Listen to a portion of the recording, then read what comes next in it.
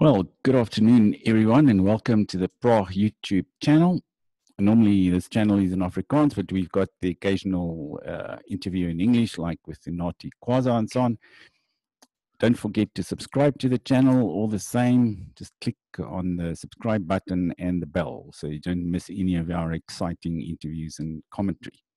Now, today I'm honored to be talking to a very famous person from America, Mr. Jared Taylor. He's an author, an intellectual, an activist. He's been all over the world um, and he's been cited in very many uh, mainstream publications as well in the US. I think you've even been on CNN or once or twice, haven't you, Jared? Yes, yes, that's correct. Uh, well, and uh, oh, NBC and Fox. Uh, uh, not they don't generally give me very sympathetic appearances, but uh, they sometimes are interested in what I have to say. Well, as long as they well, they say all publicity is good publicity, don't don't they? Although I, have I've yes. had some experience myself with bad publicity. So yes. well, we, we're gonna um, talk in, in in three parts. We're gonna do a bit of an overview of uh, the conversation, and then we'll I'll also uh, tell you exactly how I met up initially with Mr. Jared Taylor, and he's invited me several times over to the US. Um, and then in the last part of the interview, we'll we'll get into some of the nitty gritty, some of the major issues around diversity and race relations in the USA. And and it's very important for South Africans to know this stuff because you you don't you won't really understand what's going on in our country and with the policies that the ANC are applying here unless you know something about America because they've they've almost just copy pasted a lot of the policies from the US, like affirmative action, minority procurement, which here became majority procurement. And, and that has created this entire unfair system that we are laboring under at the moment. Um, I'm going to show you also Mr. Jared Taylor's book, which um, I want to refer to here and there. It's called uh, White Identity Racial Consciousness in the 21st Century. And it's about the various ethnic or racial groups in the US and the fact that they've all got a very strong racial consciousness. I'm going to quote, read you a quote just now that, that I really like from that book, and which is also up on our webpage. Um, in, in fact, uh, I'll in the description of the video, I'll put the link to the page where you can buy the book. It costs 200 Rand in South Africa. We've got the stock right here in, in the country. And even from overseas, you can order it. There are some instructions for that as well. But those of you who've been buying some books over the last few weeks, uh, you know, we, we guarantee you almost uh, within 48 hours, you'll have the book delivered by courier uh, for a very low cost as well. So, um, Mr. Taylor, you, have also just um, made a video about, well, both of us, in fact. You invited me for a bit of a talk, and we made a video about Brendin Horner, the, the, the man, the young man who was murdered in near Paul recently, didn't you?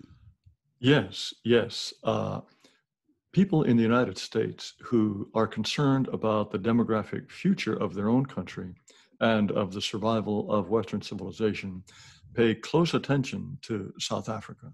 And what happens in your country is a kind of bellwether for the future, I believe, of uh, the Western world. Uh, according to demographic trends, people in the whites in the United States and in Western Europe are destined to become a minority. Of course, in South Africa, whites are already a minority. And so, in some respects, we see our future in your country already. And so, what happened to Brendin Horner and the reaction to his uh, torture and murder is something that we follow. And I made a video about that. And I was very grateful for the commentary that you provided that I included in that video. Well, it's any pleasure to give you some information about what's happening in our country. And I think you're playing in a, a very important role in disseminating news about South Africa that, uh, in the US and, and that the mainstream media don't always carry. Um, in fact, the, the video we're referring to, I'm gonna it, it's it's gonna be up on the same page as the book on the Praag website, and I'll also yeah you, you'll just click on the link in the description of of the video below and and you'll be able to watch the video as well. Get the link from there because it's not on youtube. It's it's on a thing called bitchute. You've yes. probably heard about that. Now yes and and there are these huge similarities between the us and south africa aren't there? Um you know apart from the affirmative action and so on you've also got a uh, we've seen this whole black lives matter explosion, uh, the riots. You know, we've got riots all the time and protests, and, and you've got the same thing there. Well, you know, what has happened ever since the death of George Floyd in May of uh, this year, there has been a real change in what's considered a race riot. Race riots have traditionally, certainly in the modern era, been composed of Black people, by and large, looting and burning down their own neighborhoods. There was a gradual beginning of participation of whites in these things in uh, Ferguson, Missouri, when we had the famous case of Michael Brown, who attacked a police officer and was shot. But then the story got around that uh, he was trying to surrender and was shot brutally. That didn't happen. But there were riots in Ferguson, Missouri. Then later on, there were riots in Baltimore over the death, yet again, of a black man, a criminal named Freddie Gray. And there began to be a certain amount of white participation in that rioting. This was a new thing. But ever since May of this year, there's been a real change. And the rioting was initiated by blacks, but many whites have joined in. And you may be aware of the fact that in Portland, Oregon and Seattle, Washington, there has been a steady continuation of demonstrations, riots, ostensibly in the names of in the name of Black Lives Matter, but these are carried out almost exclusively by whites. This is a brand new thing. And to me, it marks a very important change in the thinking of many whites who now appear to believe that they personally are somehow responsible, just as all whites are somehow personally responsible for the failures of blacks. And this has led to all kinds of changes in American society that I frankly had not anticipated. So I believe we have a real difference when there is some alleged grievance among blacks I don't think you find South African whites demonstrating and looting and burning on their behalf. You are not at that point, and I suspect you will never get at that point. So, this is a big change now between the United States and South Africa in that respect. Well, yes, uh, we you know we we've also got a website called Free West Media, an English language website that we uh, run together with a few Europeans, and when we've actually covered a lot of that, where you know the white participation in the riots. I think to some extent we we used to have that in the past prior to the takeover of the ANC. Uh, there, there was a mm. whole bunch of um, radical white leftists who used to uh, almost demonstrate on behalf of blacks. Yes. Um, but as blacks assumed political power, they didn't need these people anymore. And, and a lot of them have also become disillusioned with black rule. Um, they've actually written books about that and so on. E- even there's a woman called Shirley Gunn. I may have mentioned her to you, who was uh, an ANC terrorist, but she was a white uh, female terrorist um, I, I, think I wrote it in, in that article for your website, American Renaissance. Yes. Um, yes. Yeah, we we'll also mention, um, you know, in the description or on the page with the book, uh, your website, which people can go and uh, consult, amren.com. So we used to have that in the past, but the disillusionment now with, with black rule is such that even the leftists, uh, you know, they, they don't see it as, as, a, as a utopia anymore and they they see all, all the problems. And this ex uh, woman terrorist, female terrorist, Shirley Gunn, even she has apparently resigned from the ANC. She's no longer one of them. So we sort of further down the road, I would say, uh, than That's, you. That that is the tragedy of white people taking up the burden of blacks and people of other races. They don't see ahead. They don't look into the future far enough. They don't realize that if society changes in the way they say they want it to change, it will not be a, an agreeable society. It will not be a success. I wish the example of someone like Shirley Gunn were far more widely known in the United States because, yes, you are further down the road there. You really have given Blacks power over your lives. And the way they are exercising that power is very, very ominous for the future of whites in South Africa. At least that's my perspective.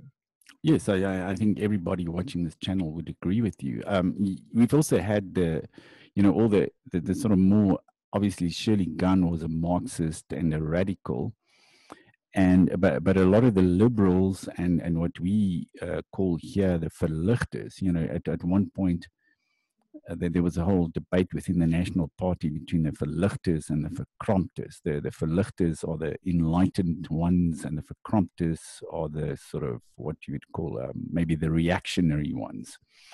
But all these Verligte enlightened people from the past, they've also become very disillusioned. And if you read what they're writing now, I mean, what I said 20 years ago, I, I, can now read in the Afrikaans mainstream media. They, they now agree with me, but 20 years later. You know, that, that's the kind of situation we're in. But now, maybe uh, you know, we, we, we can uh, go over perhaps uh, we'll uh, we'll refer a little bit more to, to your book or white identity where you actually cover each racial group in the US and, and you also mention all the various incidents that um, you know, occur in the United States, uh, the, the, kind of the same sensitivity that blacks have uh, towards being insulted and, and so on, the N word or the K word that, that we've got here.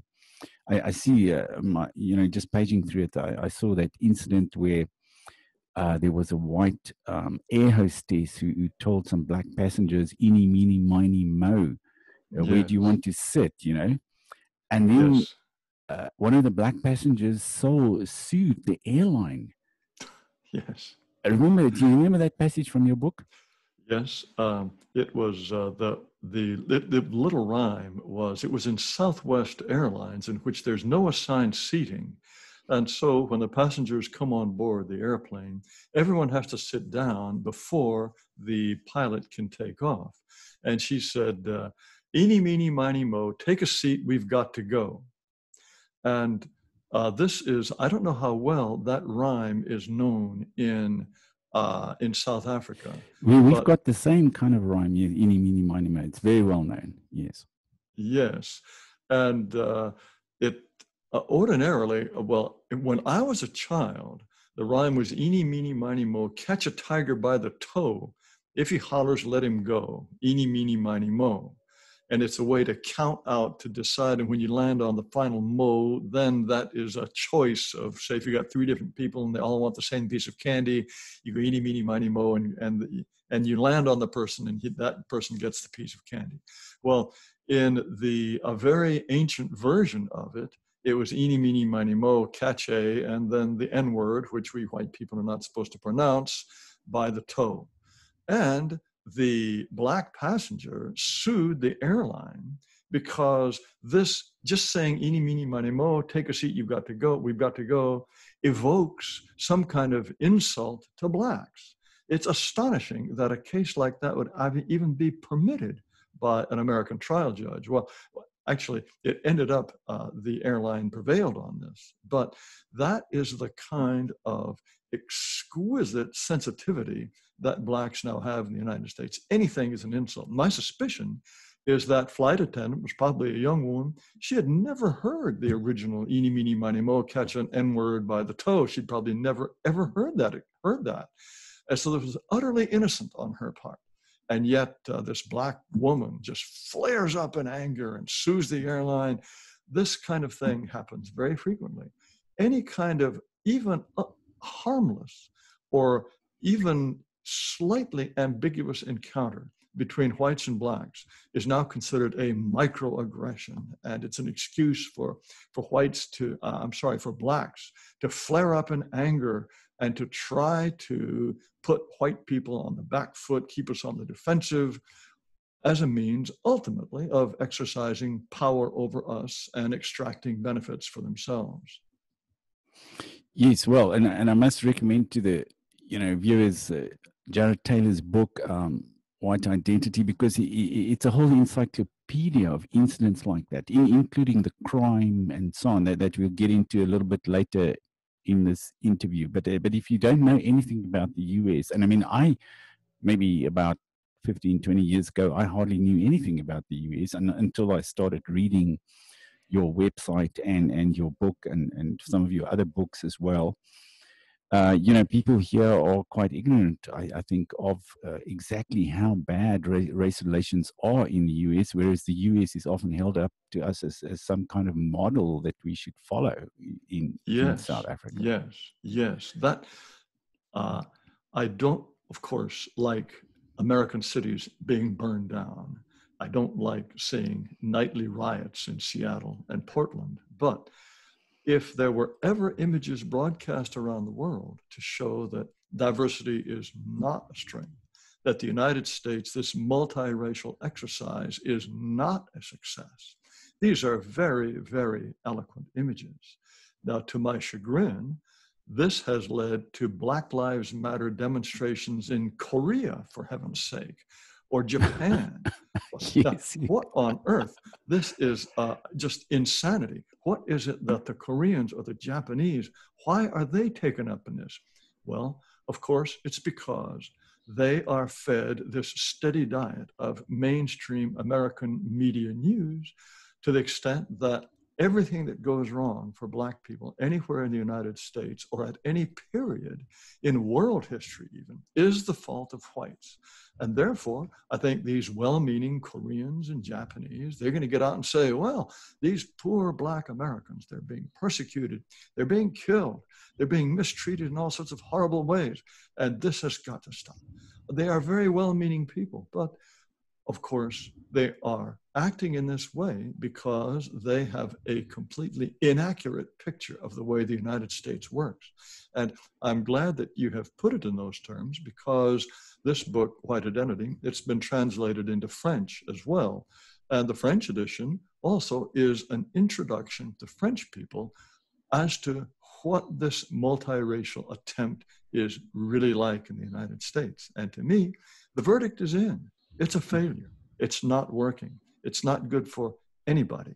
And the sooner we can recognize that it's a failure and try to unravel this terrible tangle we've got into, the better for everyone.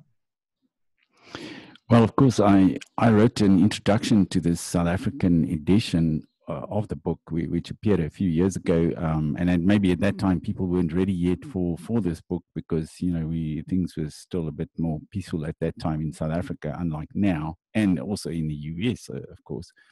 But there's one particular quote which I, you know, paragraph which I quote in my introduction, which struck me as as being such a, you know, powerful um, characterization or summary of black mm-hmm. identity in the US. And I think when you mm-hmm. look at people like Julius Malema and the EFF in South mm-hmm. Africa, and even the ANC, eh, you, you can apply that same definition to them. Um, it's where you say in the book, and I quote from it anyone who looks closely at black racial thinking and behavior will see that 50 years after the civil rights movement, blacks are as far as ever from adopting the race blindness that whites assume all Americans must achieve for multiracialism to work. Blacks nourish and take pride in an intense combative racial consciousness. It is only a matter of time before this gives rise to an increasingly explicit white racial consciousness. You surely remember that that passage from from yes. your text. Yes, uh, the whole idea of the civil rights movement in the United States in the 1950s and 60s was that all Americans were to dismantle any racial solidarity, any racial thinking at all, and to treat all of their fellow citizens as individuals, not as members of a racial group. And whites, I think, made a genuine and sincere effort to do so. And many whites are still doing this. They don't seem to recognize the extent to which every other racial group in America, and it's not just blacks, Hispanics, and Asians, those are the large other groups in the United States, they do not think in those terms at all. They have a very vivid sense of community, of solidarity, and they uninhibitedly advance their own interests and if that's at the expense of whites, so be it. They don't care. And more and more whites are gradually waking up to this, but the number is to me still surprisingly small. And that was one of the purposes of my writing this book is to explain, look, white people, this was not the bargain of the civil rights movement in which we were all supposed to hold hands and be individuals and all Americans and forget about race. The idea was to build a society in which race could be made not to matter. I don't think that's possible. That goes against human nature. It's as unrealistic as trying to build a society based on the Marxist principles of from each according to his ability to each according to his need. It all sounds wonderful. And many smart, committed, and I think well meaning people fell for this idea. We're going to build this Marxist paradise. Well, look at the terrible human cost. Well, I think we are seeing the same thing in the United States. We wanted to build this wonderful multiracial paradise. And what we see now is the terrible human cost. And ultimately, it is whites who are paying the highest price on this, but it is whites who deliberately maintain a blindness in the face of this very clear hostile racial identity that blacks in particular, but that other groups have adopted against us. And if we don't wake up eventually, we will find ourselves in your position and eventually just shoved into oblivion. I see no other alternative. Yes, uh, uh, you know, and, and it's obvious uh, that, that in South Africa, um, you know, we, we Afrikaners had their own ideas about uh, ethnic identity and so on that, that um, held sway during the old um, system. And, and some of those ideas were thought up by very clever people, you know, highly educated people and so on. I mean, somebody like Verwoerd, for example, was a great intellectual in his own right. But then we we copied all these ideas from the Anglo-American, you know, from the Anglo-American um, system, and particularly the American system, because uh, at that time I think uh, uh, Britain was not yet uh, such a multiracial society as it is at present. But but here they they, they thought of this absurd term, non-racialism, which you know corresponds to what you would call a colorblind society in in the US, and and we've also seen this that this whole uh, notion of non-racial it just doesn't apply at all in South Africa. The very people who use it, uh, you know, our government and so on, they've got 120 laws laying down, um, you know, regulating the races in economic life and ownership of companies and in the job market and so on. So, so it's, an, it's a complete absurdity, non racialism. Well, unfortunately, my country has been the source of a great deal of insanity, uh, not just in racial matters, but uh, we won't go into some of the areas. Yeah, exactly. But, uh, but yeah. there's there's a never-ending list of the insane things that Americans, to be considered well-meaning people, are required to believe. But yes, the idea that we're going to build a colorblind society and we're all going to be colorblind. Now, as you probably know, and perhaps your viewers know this, maybe some don't, In the United States today, the theory is if whites claim to be colorblind, that's not good enough. It's not enough to be trying to treat all people the same regardless of race, because that erases the valuable and wonderful racial characteristics of blacks or Hispanics or Asians. And so, white people, we simply can't just go about our lives trying to be fair. No, that's not good enough because that continues to prop up white supremacy. We have this inherently white supremacist society, and unless we are actively tearing it down, every moment of our lives must be devoted to somehow overcoming white supremacy, racism, institutional racism, systemic racism, these will o' the wisp concepts that mean really nothing at all. Institutional racism, what's that? How can an institution be racist? Presumably, there are people who have ideas that are discriminatory, but systemic racism. If you ask Americans, what about the system is racist? I mean, the system is apparently something that operates independently of the human beings that are part of it. No, this is just nonsense. It's, ma- it's black magic. But today, I can assure you that certainly on the left, the idea that white people are striving for, or that all of us should be striving for, a colorblind society, no, no, that's not good enough. White people must be constantly devoting themselves to, and then it gets very vague as to how it's supposed to work, but we're all supposed to be devoting ourselves to tearing down white supremacy, affirming the unique beauty and virtue of all other people, so we dare not treat them the same. Now, if we treat them differently, that was presumably racism in the past. If we now treat them the same, that's not good enough either. But in the, the United States has an astonishingly negative view of whites. And another example of this is when there were white neighborhoods and blacks moved in, white people moved out because they did not like living in black neighborhoods. That was white flight, and that was sinful and bad and no good. Now there are black neighborhoods close to the middles of cities and younger whites are wanting to move in.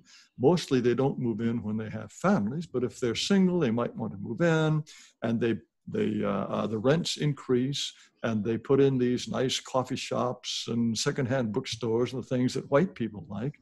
Now that's called gentrification and that's bad too. Whites are wicked when they leave. Whites are wicked when they come back.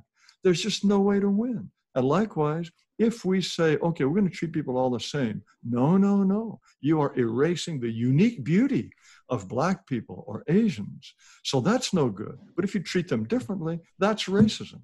You just can't win if you're white in the United States. And yet, at the same time, we're all told we benefit from all of this wonderful white privilege.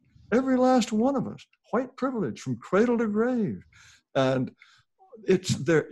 I think for people not living in the United States, it's almost impossible to understand the current thinking about race that leads to all of these white people like wearing their little masks, but out yelling, Black Lives Matter. And this is to me perhaps the most idiotic slogan that has arrived since May, since the death of George Floyd. And this is white silence is violence. In other words, yes. if, if white people are doing nothing, if we are not constantly speaking out against white supremacy, we are committing acts of violence. What I mean, do we have superpowers? Are we magicians of some kind? You and me, in our sleep, saying nothing, we are somehow committing acts of violence against black people? This, this is absolute insanity. And yet, white people say white silence is violence. It's mostly women. You see these young women waving these signs, and they're very earnest about it. How can they believe this preposterous rubbish? But this is widespread in the United States. And I think you would have to live here, you'd have to see it happening in order to get a really genuine sense of how deeply rooted this is in certain portions of the American population. Well, over here, of course, um, you know, especially yeah, since the ANC took take over, you know, they, have sort of almost abolished uh, Afrikaans culture at the universities and in uh, in the state institutions and so on. So we've been relegated to the margins, and now we sing songs and write a few books and, and we chat on the internet. But we we sort of marginalized in in this setup.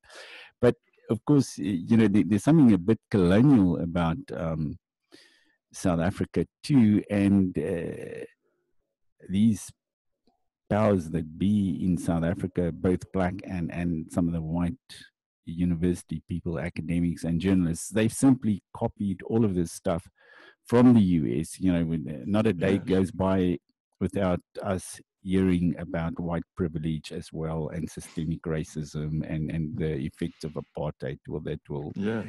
that will last for centuries into the future and even when blacks are corrupt and they steal us blind uh, you know they, they, i've just read a story about i think i sent it to you about some woman who, who was married to a general in the army, and then they stole 200 million rand from the army by means of tender fraud and so on. Yeah. You know, all of that stuff, ultimately, whites get blamed for that.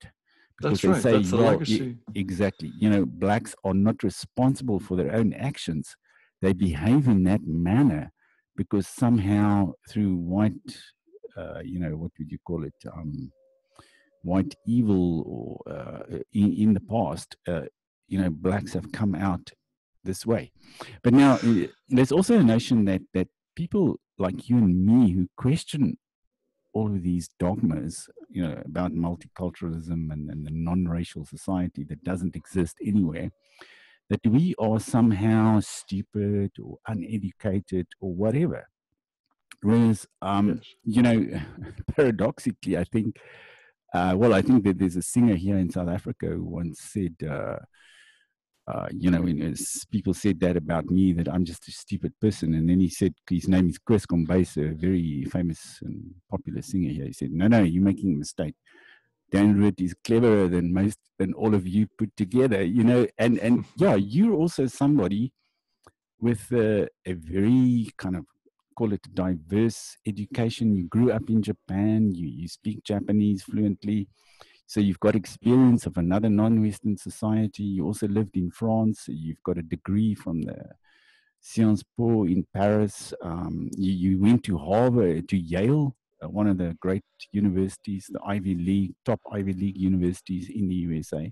So you're a highly educated person, um, highly, you know, widely read and so on. And you've come to the conclusion about these issues because you've you've examined them honestly um, well, uh, I, I, certainly think that's the case. I, I, used to be very much an egalitarian and a liberal.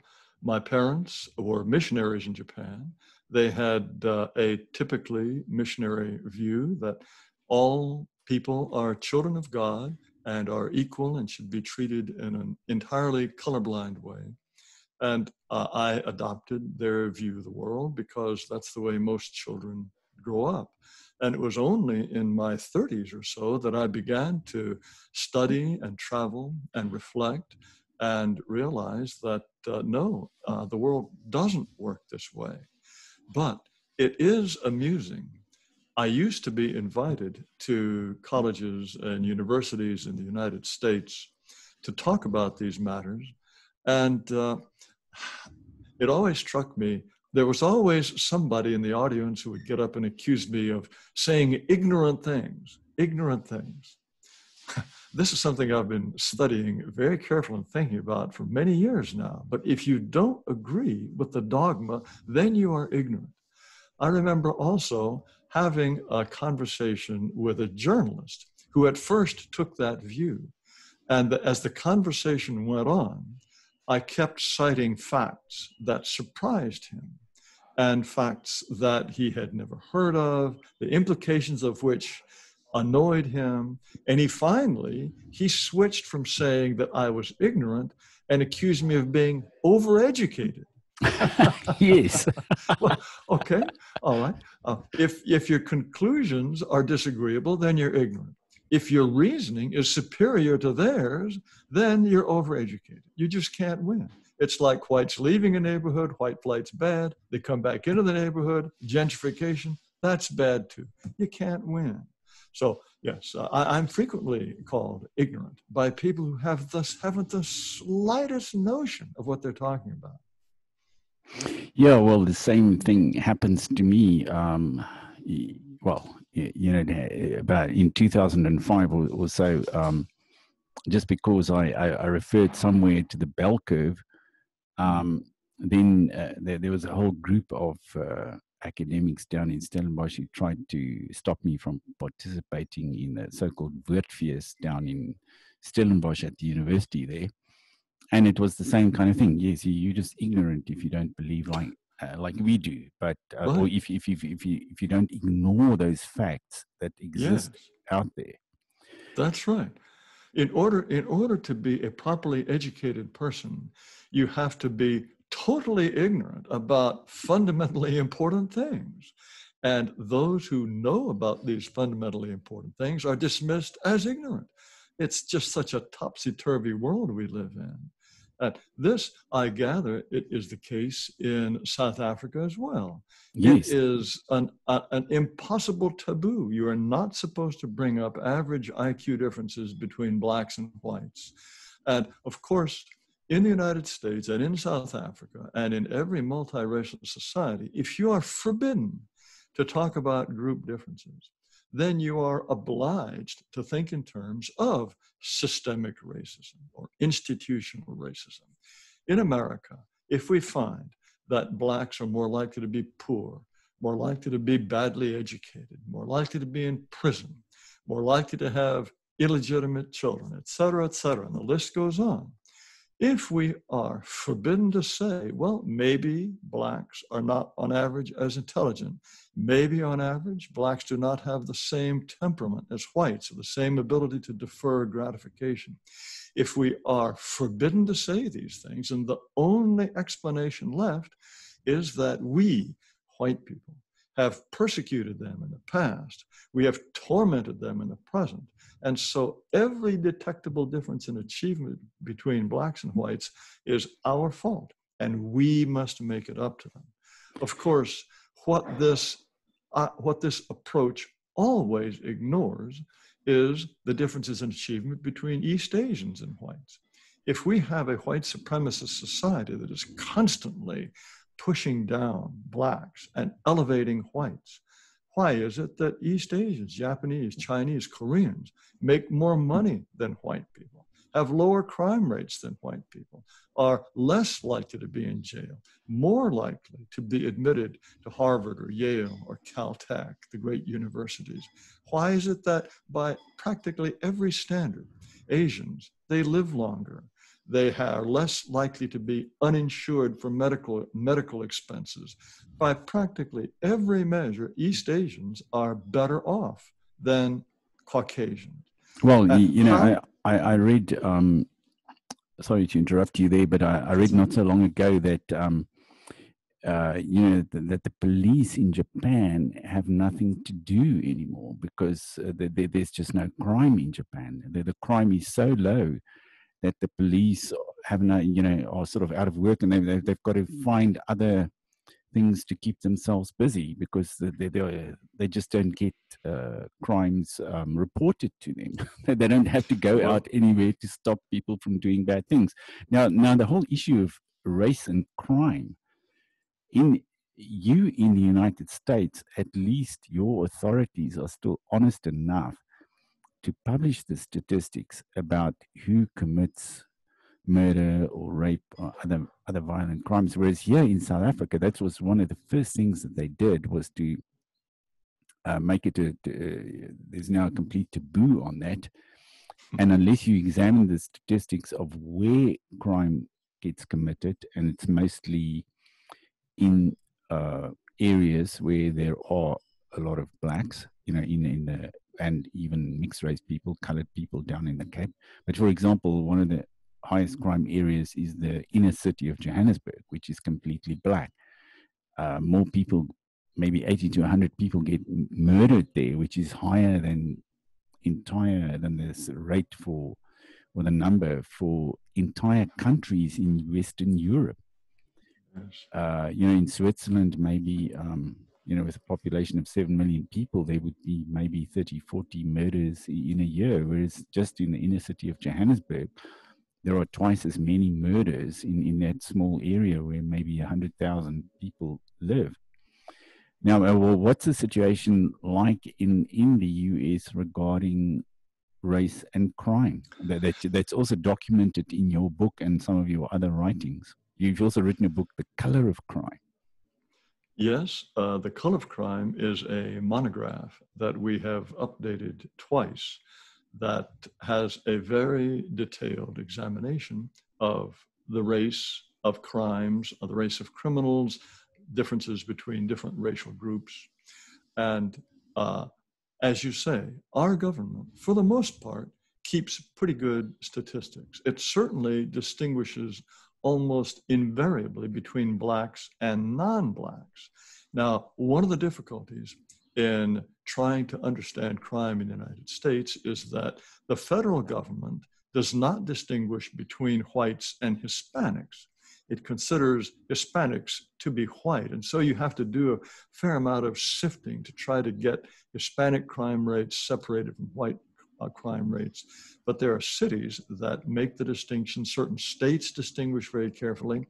What it boils down to is that blacks are usually seven or eight times more likely than whites to be in jail in the prison population.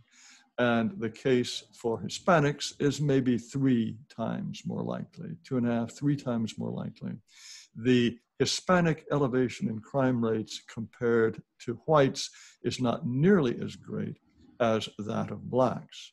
East Asians, at the same time, usually commit most crimes at a rate that is maybe one third, one quarter, not even one half the white rate. Uh, this is something that is consistent year in, year out. Wherever you go in the United States, Asian crime rates are lower than whites, Hispanic crime rates are higher than whites, and black Hispanic black crime rates are the highest of all. So that if you find uh, that, and there are certain crimes that are black specialties, mugging, for example, and that's an armed robbery. Mugging is something that blacks commit nationwide at a rate of, of about 12 times the white rate. Any individual black person is about 12 times more likely to commit a mugging than a white person. Differences this great in sociological phenomena are very unusual. If you're looking at large populations to have a difference that is as great as that. And this is despite the fact that many blacks are in jail. The actual difference in terms of the different, different criminal propensities of different groups would be much higher if there weren't so many black people already in jail. Yes, so that, that, that, that's something that has struck me um, as, as, as, quite astonishing is, is, the number of black people in prison in the United States. Because in, in South Africa, we know that there's a very low conviction rate. Only 8% of murderers actually get arrested and convicted of their crimes. So about 80 or 90% of our criminals are out on the streets that are actually not in prison. But in the US, there, there are over a million prisoners, aren't there? And, and there are, yes. I think, over half a million blacks in prison. And in some states, I think I've read probably in, in some of your books or reports that uh, one out of three black males, say between the ages of 20 and 40, would be either in prison or on parole or under correctional supervision. Is that's that correct. That's correct. That's simply astonishing. So, you, you know, in, in a sort of more or less white society like yours, still white society or controlled by white people, um, in order to uh, make it function, you actually you literally have to lock up about one third of young black males. Whereas here, we're not going to be able to do that. Right. Yes, uh, in order to maintain a certain level of peacefulness. But in many respects, in the United States, when it becomes clear that Blacks, and to a lesser extent, Hispanics, cannot follow the law, then the laws are changed. Uh, one of the best examples of this is uh, turnstile jumping or fare beating. You just push your way onto public transportation without paying. This uh, has been clearly the case in cities like Chicago or San Francisco or uh, New York City, Washington, D.C. And then it becomes a scandal. We find out that 80, 90% of the people who are arrested for not paying the fare and sneaking onto public transportation are Black or to some degree Hispanic. And so the cry goes up this is unfair, this is no good. And so the authorities stop enforcing the law. Uh, we've seen this in case of shoplifting, for example. In San Francisco now, if you don't shoplift more than $800 worth of merchandise, the police are not going to bother. And so it becomes free game. People Even will just if, if you're white, because I, yes. you know, it could be a good idea to to visit San that's Francisco, right. and you know, if you wanted to, yeah, that's right. Get get that's some right. brand name clothing, you could just go and shoplift it. But I suspect if you're white, they're probably going to prosecute you, aren't they? No, they're not. And this is this becomes a terrible problem when white people see non-whites getting away with this because the rules are changed essentially for everybody. Or when they see black people jumping the turnstiles into the subway, many, at least some white people are going to say, well, why have I got to be the chump? Why am I the only guy paying my way? So all of society's rules fall apart when you have a population that refuses to abide by them, and then you just take away the rules. You're quite right. Well, we see it here in that um, you know we've we've got these black minibus taxis and they don't stop at red lights. They just go through the lights or you know they they, they disregard the traffic rules completely. And we used to be uh, you know uh, our standard of driving used to be very good um, and people were very courteous and, and we used to drive safely compared say to people in southern europe in italy or even in france uh, where i lived. You know we, we used to be very orderly in our driving but now it's that has all fallen by the wayside. And and you know yeah if a white person sees the the black driving through the red light he thinks you know why should i stop? Um, if i'm in a hurry uh, i'll just do the same.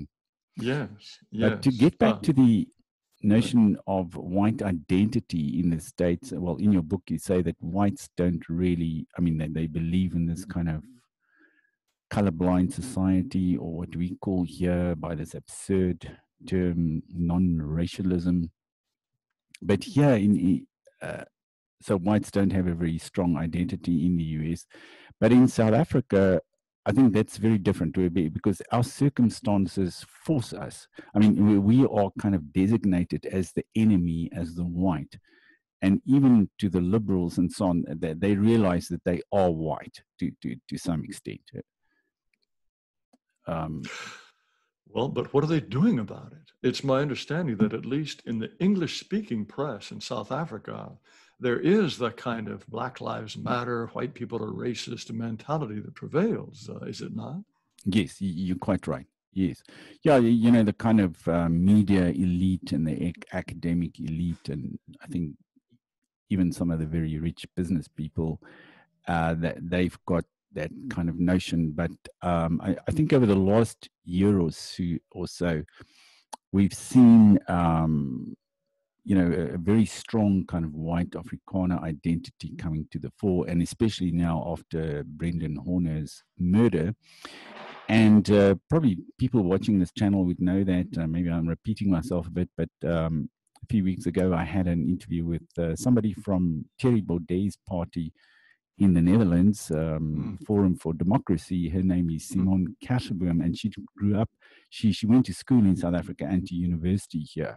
Mm-hmm. And she said that people in the Netherlands could learn a lot from Afrikaners because for most of our history, because we were under the British Empire and revolting against them or trekking away from them, and now with the blacks trying to destroy us and destroy our language and our identity, we've always had to fight for our identity, and that that makes us, you know, this notion of being in an identity kind of struggle all the time has characterized us uh, for a long time. And, and I think maybe, you know, we've, we've got some contribution to make there because we are not, you know, it, it's quite funny sometimes when you're in a conversation among people here, and they would say, "Yes, uh, us whites," you know, or, or, they use this Afrikaans term, "die blankes," you know, us blankes, um, you know, and, and it's completely natural to them. Whereas anywhere else in the world, in the US or let alone in Europe, where even people on the right of the political spectrum, they are very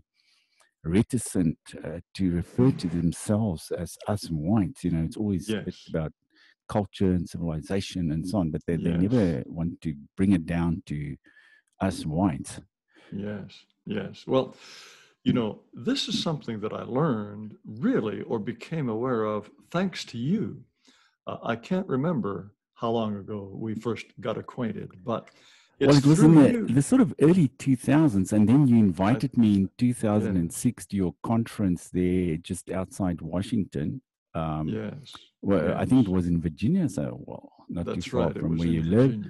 Yes. And then my wife and I went there, and I mm-hmm. remember, yes, that, that that's where yes. we first met up, and and then I was also in 2012 at that conference in, in Charlotte, North Carolina, the, the one that couldn't take place, that was been right. held in secret or yes, something. Yes, and then in 2016 uh, in uh, Memphis, Tennessee. Um, yes. Um, that one. Well, so, yes, no, no, you have been uh, a, uh, a very uh, well received guest at our conferences and said very interesting things that uh, our audience has always found enlightening. But uh, what I became aware of because of you is this sense of a really distinct Afrikaner nation. I was aware of whites in South Africa and that there were English speaking whites, British origin, and then there were the Boers, there were the Afrikaners. But I never had such a distinct sense of how different the two groups are and how you as Afrikaners had a genuine nation, uh, a language, uh, a, a, a, variant of, of Christianity, a kind of state church almost. I mean, maybe that's going too far. Well, well I mean, they, they, they used to say that the, we, we've got this big uh, Dutch Reformed church, the NG Kerk, and they, you know, the liberals here used to say that the NG Kerk was the national party at prayer. Yes, so, so yes, and, and, and they see saw themselves as a state church, and in fact, yes. they've been now they are trying to become the state church again by accepting homosexuals and you know right. going completely overboard in the other direction. Yes, yes, but the fact is, you uh, are a nation, and uh, someone like Paul Kruger, for example, who fought the British and who really gave, devoted his life to independence for his people. You have a history of real nationhood. I wasn't very consciously aware of that. And here was this, this wonderful, distinct people with a distinct history and culture and heritage and destiny that your nation was really strangled in its crib. It was, it was thwarted very early on by the British and then what with uh, uh, all of the fight against apartheid and all of the world ganging up against you, you have this distinct and uh, for those of us who really appreciate, appreciate diversity, a genuinely different culture, one of these beautiful things. And it's, it was snuffed out, first of all, or the uh, assault on it came from fellow whites all around the world and now that you have submitted yourselves to Black rule, as you point out, your universities and uh, the medium of teaching and your culture is being attacked. This is a tragic thing, it's a terrible thing. And this is something that I came to understand really only because of the things that you wrote and the things that you have said. And that heightens my sense of just the horror of what is happening in your country.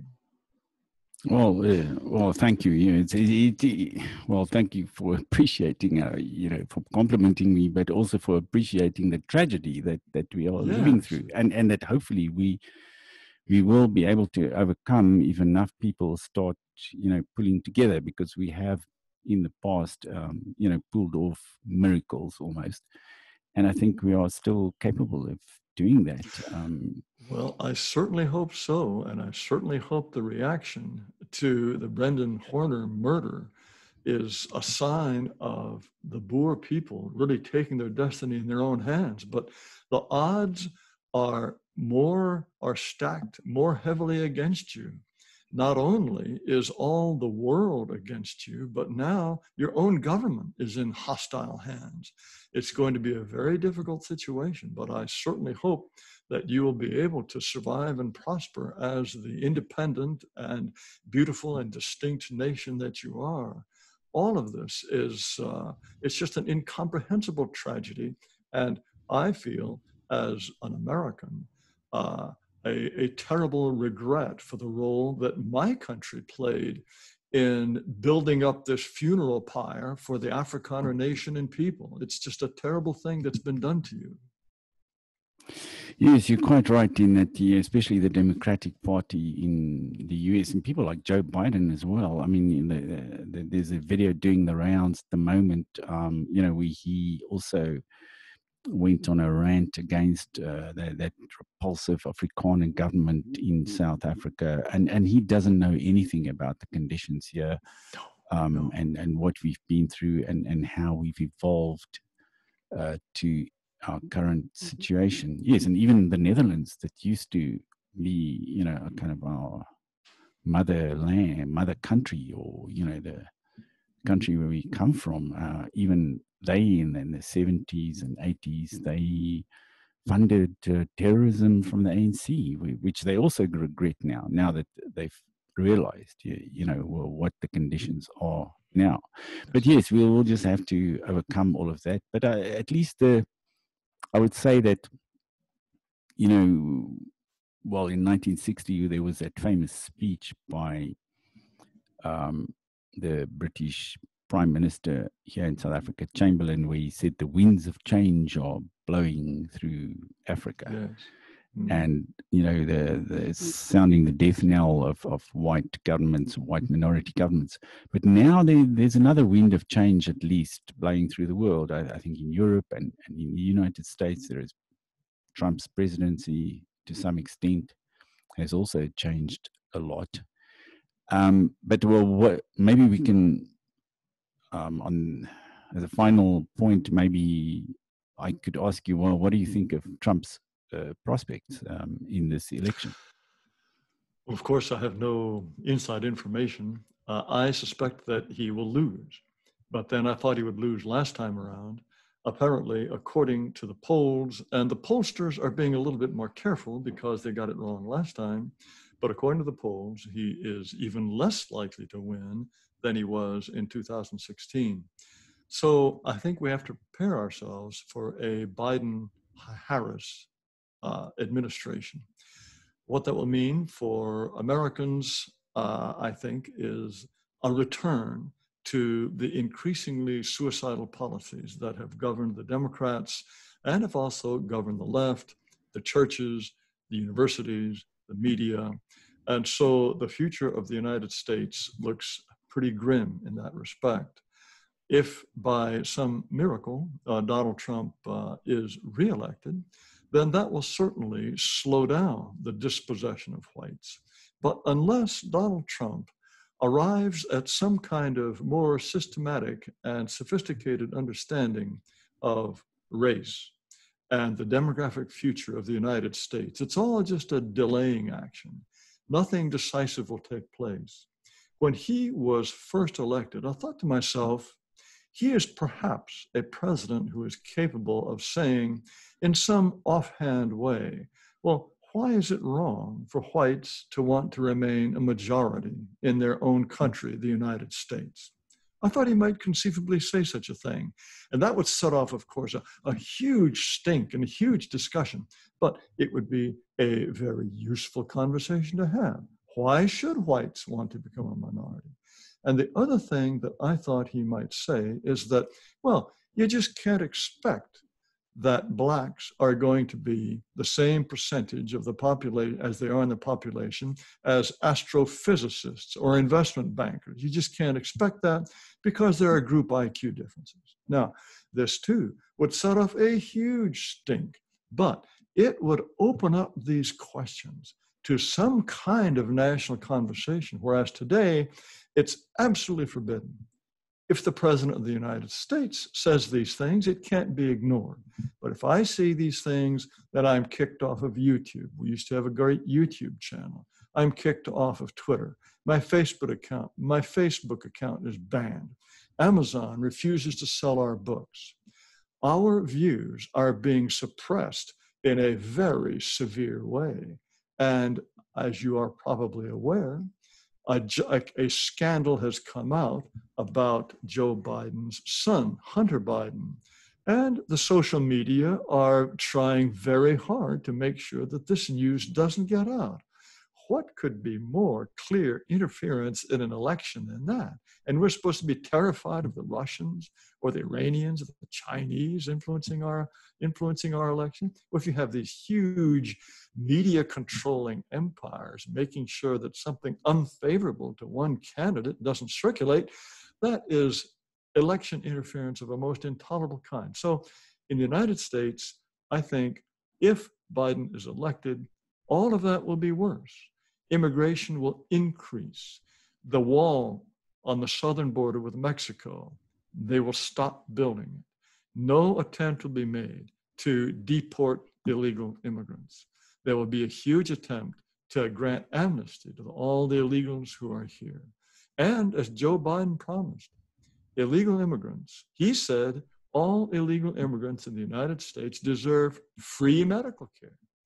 This is crazy. That alone would be a huge incentive to someone who lives in Guatemala and who needs a new kidney or who has heart valve problems. Those people are all going to come to the United States because Uncle Joe says, we're going to fix your problems for free. Frankly, I think even Democrats would wonder if that's a wise thing to do. But that is the direction in which the Democratic Party is moving. And all of this bodes ill in a terrible way for my country.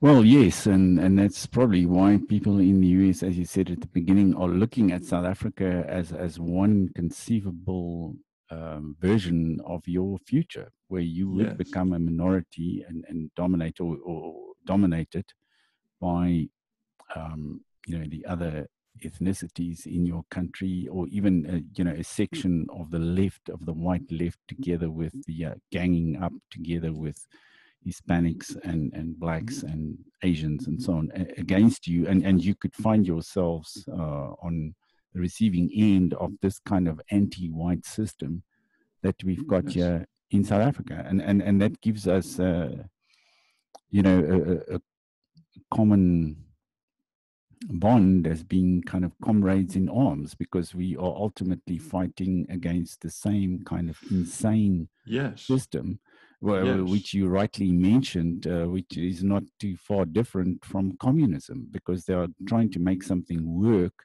that can never work and that goes against human nature and and yes. it, it, cannot be created there, there will never be complete equality, and there will never be complete racial harmony and racial equal, uh, equality no. in the world. We, we, we see it here in South Africa too.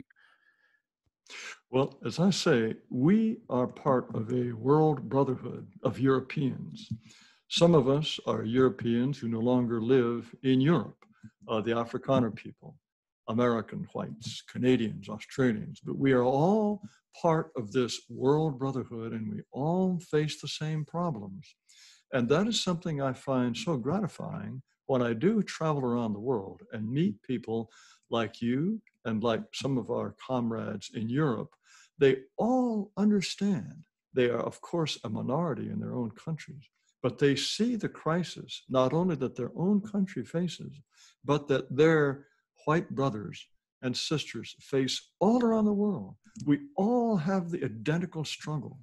And to me, one of the most dismaying aspects of this is that the ideas who have that have made this struggle so acute, so many of them have come from the United States. This notion of diversity being a strength, and that we can build this non-racial society. Nobody ever said that sort of foolishness until Americans started saying it. And the crazy thing is that despite our failures, and despite the obvious failures in Sweden or France or Germany, where immigrants have not assimilated in any kind of satisfactory way and clearly show that not only they refuse to, they don't want to, but still this insane philosophy of multiculturalism, multiracialism prevails. It is, uh, it's been the great mystery of our era, I believe, why these ideas, which are obviously false and obviously destroying ancient countries with ancient civilizations, why these ideas are still in circulation and still so powerful. Yeah, well, I, I think I've, uh, I think it might have been at one of your conferences. You know, I mentioned the, the notion that that this um, multicultural idea, multiracial idea, it's got something. It's got all the hallmarks of a kind of sectarian faith. That it yes. is something you believe in, in yes. against all the evidence and one can only and i think a lot of people have also compared um, you know the, what we're facing now with what people were facing, you know, people like Copernicus and Galileo when they said the earth was round, you know, and the church just said, no, no, you're wrong. You know, despite the yes. evidence, you are wrong. And yes. that's exactly what we are facing today. Despite all the evidence that we can muster, it's just you're wrong and you must just um, conform to the dominant um, ideology of, uh, you know, well, so called multiracial society. But the real problem here is this is a delusion and this is a religion that is suicide to us. This is a religion of white wickedness. This is a church in which there's no salvation, that white people can never get it right. You will find on the left the idea that not only are white people not supposed to be colorblind. They have to devote their lives to trying to overcome their own racism, society's racism, and they will never succeed. We will be guilty until we die. We'll be guilty after we die because we have created this legacy. Ordinarily, if there's some sort of illusion, it's because people at some level profit from it, either materially or psychologically. But in this case, this is a religion in which the adherents are all guilty and can never be saved and which will ultimately destroy their own country. This is to me makes it even more difficult to understand. The church, when it was fighting Galileo, it had an interest in maintaining its own authority for all sorts of obvious reasons. And even if the earth rotates around the sun, believing that or not believing that was not going to destroy the church. But we are told to believe things that ultimately will bring about our own oblivion and the own dismantling and the dismantling of our own cultures. So it makes this delusion, this religion, even more inexplicable. Yes, you're perfectly right, and I think you've put it very well. Um, there, uh, but perhaps South Africa will be the first casualty of this religion because uh, you know uh, we will be facing in the not too distant future societal collapse uh, as a result of it, and yes. perhaps that will you know at least uh, in, in some small way persuade a few rational people in the northern hemisphere that they may be on the wrong track and well, and within that chaos you know there, there could be also opportunities for us. That, that, that is what we have to hope. And uh, with a little bit of help from the outside yeah we could perhaps again uh, regain our freedom. But thank you very much for this conversation. Oh it's um, been very much my pleasure. Mr taylor and i hope we can repeat this some somewhere down the line. And uh, to our viewers uh, well hope you've had a, you know, you've had quite a um, good introduction to Mr. Jared Taylor, and as my uh, well, our ex countrywoman who now lives in the United States, Ilana Mercer, who also writes uh, on uh, AmRen on American Renaissance. Uh, she's a lady also from Johannesburg who now lives in Washington State, and she's got a beautiful English style of writing, fantastic um, you know, uh, use of language and so on. and and she says she also told me once that you're one of the great intellectuals of our time, and and definitely. well, I don't know about that. Uh, in fact, I think so much of what I say is just obvious. It's easy to seem like a brilliant intellectual when the entire world has gone mad and believes things that are obviously untrue. Well, yes, I think it's like the old adage: if you you find yourself self in a lunatic asylum, asylum, and everybody else thinks you're mad, then then you must be the only sane person among the inmates. Yes. But then, thanks again, uh, Mr. Taylor, and uh, well, yeah. Don't forget to subscribe to our channel to the viewers, and I'm gonna put the uh, yeah the link to the page with uh, Jared Taylor's book in the description, and you can see for yourself, uh, read for yourself about the the insane situation going on in America. Thank you. Thank you so much for inviting me. It's my pleasure. Goodbye.